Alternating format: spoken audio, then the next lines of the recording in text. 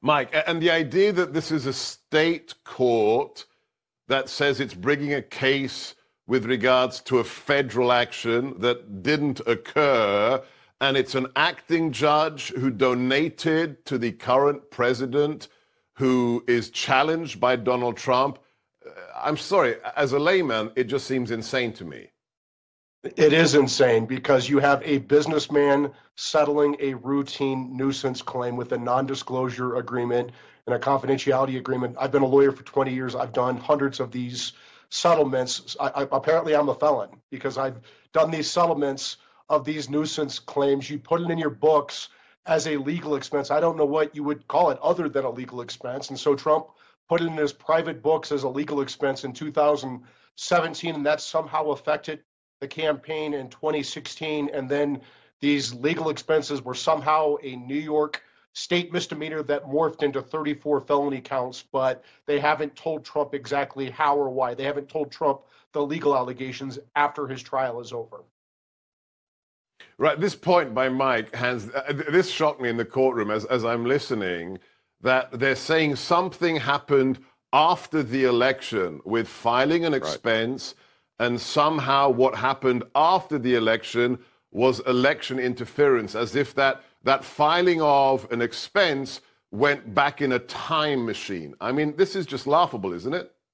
It, it is. It makes absolutely no sense. And keep in mind, you look, you were there. Who were the final two witnesses, right? Former paralegal, former legal advisor to uh, Mr. Cohen. And what did they say? They said that Michael Cohen had told them repeatedly, repeatedly that Donald Trump knew nothing about this payment. That was also an essential element of Bragg's case. And yet here you had uh, two witnesses saying Donald Trump didn't know anything about this. And then, Mike, this document of which I was informed on Tuesday when I went to the court, 30 page federal document from the Southern District of New York listing all of Michael Cohen's crimes, not just perjury, but grand larceny, which was suppressed as evidence by Juan Merchan. H- how is Alvin Bragg not culpable for not charging his star witness with grand larceny instead of making him a witness? And, and why would a judge suppress a federal court document that goes directly to the credibility or lack thereof of the prosecution's witness? Well, I think we're talking as if this were a fair trial in America as opposed to a third world Marxist hellhole of New York City with Juan Merchan, who's corrupt, whose daughter is raising millions of dollars off this case, off this Alvin Bragg, who campaigned on getting Trump, Colangelo getting sent from the Biden Justice Department.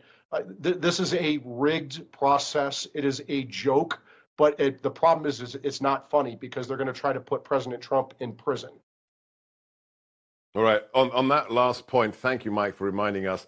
As a former DOJ uh, member of federal government and an FEC commissioner, c- can you just comment Hans on is it standard for the third highest person at the Federal Department of Justice to just slide sideways and downwards and become a line prosecutor in Manhattan? Isn't that a little weird?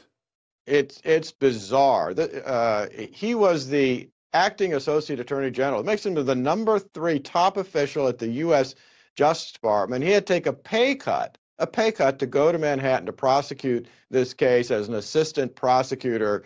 Uh, that tells you, I believe, that the Biden White House's fingers are all over this and involved in pushing and helping Alvin Bragg uh, bring this prosecution against their opponent. Yeah, as President Trump says, these are Biden's trials. These are all Biden's trials. God bless you both. Please check out heritage.org, join the conservative mothership, and the article3project.org. Keep telling the truth, gentlemen.